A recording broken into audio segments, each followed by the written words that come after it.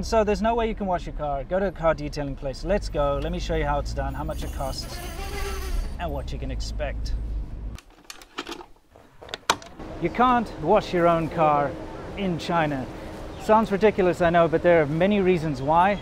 My car is filthy. I've been away for over a month. So I've just been to the ATM to withdraw money because unlike many places in the West, there's no such thing as free parking here in China. Okay, let's get that out. 1020.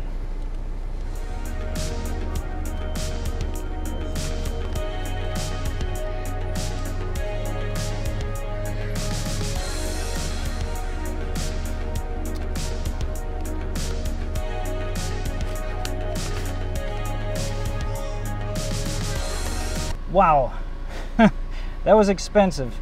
That's pretty much worth about the, I don't know, a tenth of the car. This thing is, um, it's literally just not worth anything these days. I did buy it new, but you know, it's a Chinese car and they don't really appreciate. That's one of the drawbacks of owning a car here in China is the fact that you, first of all, you have to pay for parking like everywhere. There's no exception.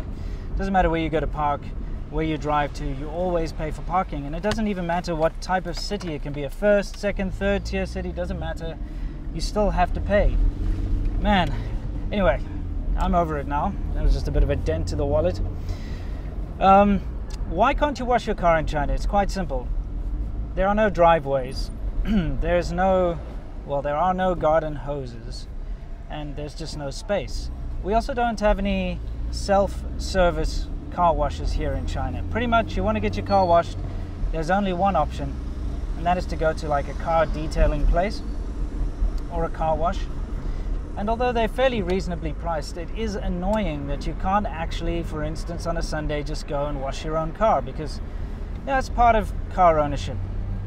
Thing is, um, the whole owning a car thing here in China is still new. Uh, it's you know it's an under, underdeveloped thing. It hasn't matured, and it's only the the generation, this current generation, or the first generation to ever realistically own cars.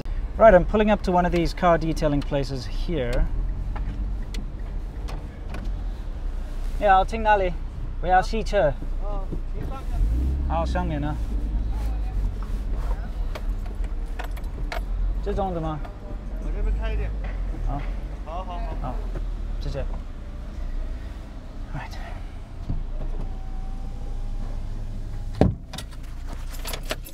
Okay, I'm gonna leave them to it. I'm gonna hop out now.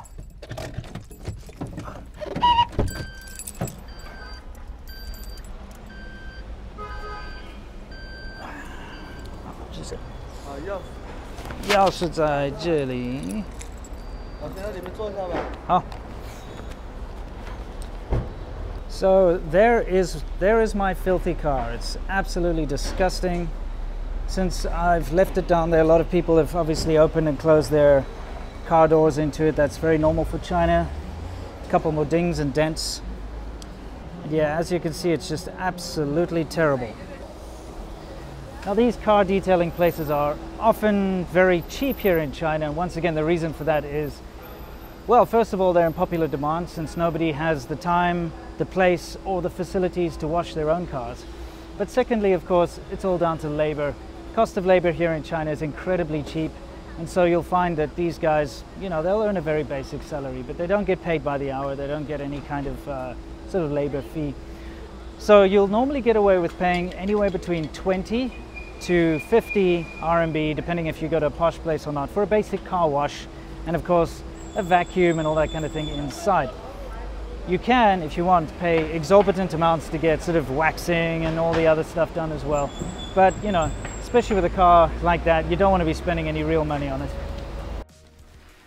So as they were moving my car from the washing station to the drying station, I noticed that one of my brake lights was in fact blown.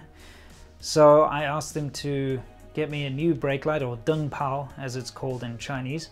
And you know, that's what's nice about these car wash places, these detailing places. They usually carry a fair amount of spare parts. You know, basic things like light bulbs, they carry car batteries, oil, that kind of thing. So, you know, they can usually fix all these little bits and pieces as you need them. So inside the car washes, you get these little rest areas where they sell, you know, little trinkets for your cars, air fresheners, things like that. Very similar to the rest of the world. Usually they have a Chinese tea table though, which is a little different. Let's go take a look. Okay, well, that's that. Um, way nicer than before. That was pretty awesome. Unfortunately, like I said, can't do anything about all the horrible dings and, and dents that have been left here just by parking it. So that's another one of the things you have to watch out for in China is, well, don't buy an expensive car. You're just gonna cry. Mm, bye-bye. So guys, that's it, the be all and the end all. It cost me, what, 70 RMB? It was 50 RMB for the car wash. They did a fairly good job, but that is pricey by the way. Please remember that I live in a first tier city. If you live in a smaller city, you'll be paying around 20, maybe 30 RMB for the same sort of job. Uh, they've charged 20 for the replacement bulb in the light at the back. That's fair. I must stress to everyone out there, if you're planning on owning a car in China, rather don't. Um, it made sense to me years ago, but now it's just a burden. As you can see, I have to pay money for parking. That never stops. I have to also, you know, keep the thing running and, you know, keep registering it and all that. And uh, especially in the big cities, the public transport here is fantastic. Now, when I lived far out of the main city, it made a lot of sense to have a car, but now that I live inside the main city, it makes no sense at all, because I can just take the metro to go, you know, pretty much everywhere. Anyway, that's it for this one, guys. I hope you found it informative. I can't wait to see you all in the next video, and until next time, you know the drill. As always, stay awesome.